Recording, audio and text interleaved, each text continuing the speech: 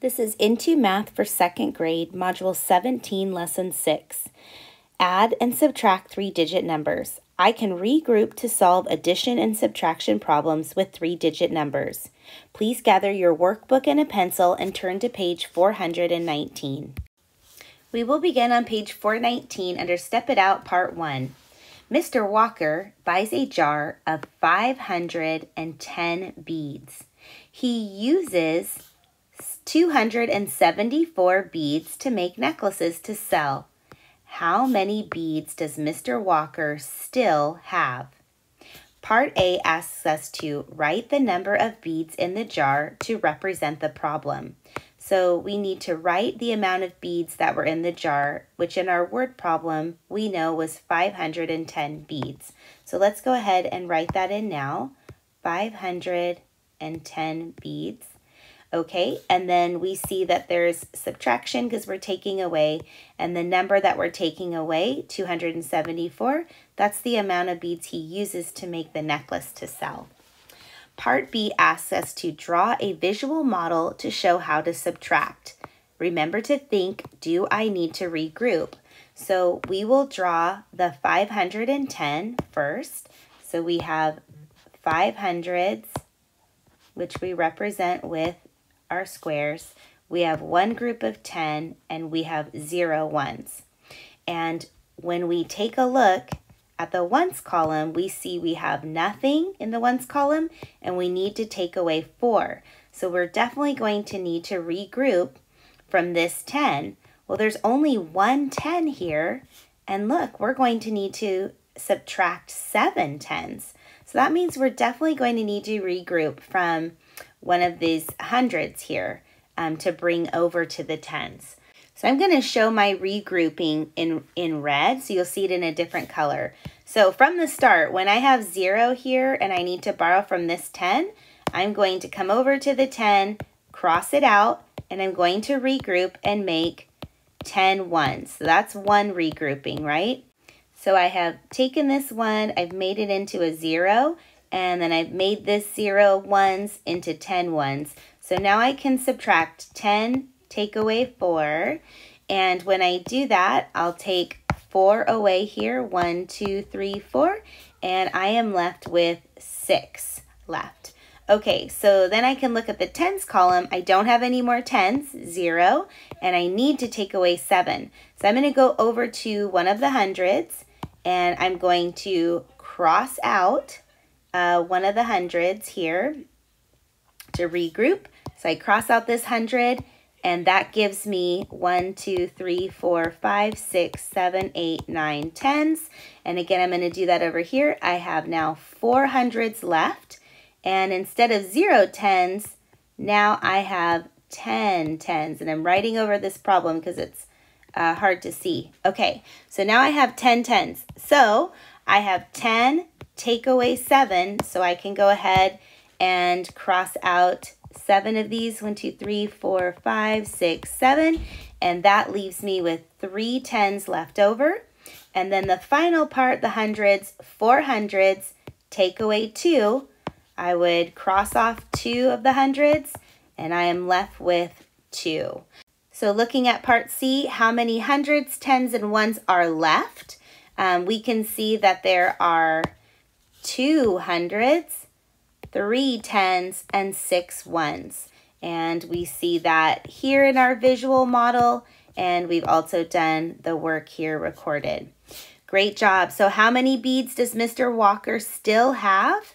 And we've answered that, 236 beads. Great work. Okay, on the next page, page 420, we're looking at Step It Out, and they give us a problem here, 456 plus 195. It's always important to look at the symbol because we've been doing a lot in subtraction, and now they're add, asking us to add this three-digit number. So part A says, show this problem with a visual model.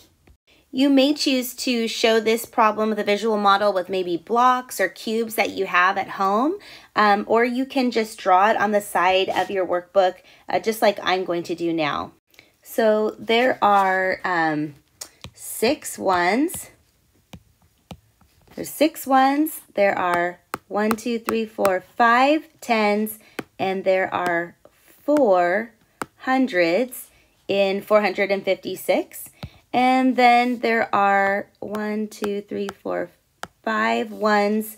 There are one, two, three, four, five, six, seven, eight, nine tens, and there's only 100 and 195.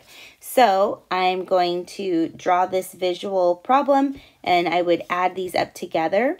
I'm seeing here that there's a lot of ones and a lot of tens and we know when there's 10 ones, that makes 110. And when there's 10 tens, that makes 100. So let's look and see what we have here. We have 11 ones.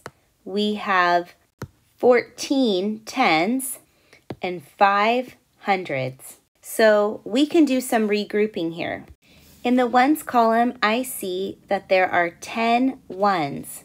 And we know that 10 ones make one group of 10. And so I would actually cross that out and I would make a group of 10 to add to our 10s. And then I'm going to come over to our 10s and I see, oh, right here, 9 plus 1, that makes 10. So I'm not going to have 10s there anymore. I'm going to have another 100. And so when I look at this visual model and I'm all done, I'm going to see that there are six hundreds, there are five ones, and there's one one. So I'm already going to see that my answer is going to be 651 just with my visual model. Part B asks me to use your model to explain if you should regroup. And we can answer, there are 11 ones, which I regroup as 110 and 1 1, which we did here. We made that into 110 and 1 1. And then there are 15 tens when we add all of those, 15 tens, which I regroup to 100 and 5 tens. Let's take a look at part C, add to solve. Record your regrouping. So first we had um, 6 plus 5, and that made 11. So we regrouped. Remember here, we had 11 ones. We regrouped, so we made 110 and 1 1. So we put that 110 here and the 1 that the 1 the 1 1 on the bottom here and the answer. Then we took a look at all the 10s, 1, 5, and 9, 1, 5, and 9 and we knew that that was 15 tens. So we regrouped to 105 tens. So we put that 100 here and the rest of the five tens here. And then we looked at the hundreds column, 1, 4, and 1, where we had 1, 4, and 1, and we added those together. And when we add those together, we get 6. So our answer is 651, which is the same answer we got here in our visual model. Now let's look at part D. Check your work to be sure the addition in your problem matches the addition in your visual model. Well, we just did that, so we can give ourselves a nice little star next to both of those numbers. Great job. Let's take a look at check understanding. You're welcome to um, try this on your own or you can follow along with me. Miss Ita puts strings with 400 lights in her yard. She sees that 116 of the lights do not work. How many lights do work? Solve. All right, so we have 400 lights and sadly, 116 of them don't work. So we're going to take away 116 to find out how many do work. What it, what's the rest that do the number of lights that do work? So we're going to start with the ones column. We have zero and we need to take away six lights, but we don't have six lights to take away. So we're going to go next to the tens and oh no, there are no tens here. So we need to go over to the hundreds. We see that there are four hundreds. So we're going to go ahead and cross out take one of those hundreds away, and that leaves us with 300. Then we're going to bring that group of 10 tens over. And again, we don't have any tens to put it with, so we no longer have zero tens, we have 10 tens. So we take that 10 10, those 10 tens, and we're going to take one of those away because we want to make ones in the ones column. So now we don't have 10 tens, we have 9 tens. And we're going to take one of those tens, bring it over here to the ones. We have 10 ones, and we don't have any ones to add it to. So we're going to cross off that zero, and now we have 10 ones. So we have regrouped, and we're ready to do the subtraction. We have 10 take away 6, and when we have 10 take away 6, we find that our answer is 4. Then we have 9 take away 1, and 9 take away 1 is 8.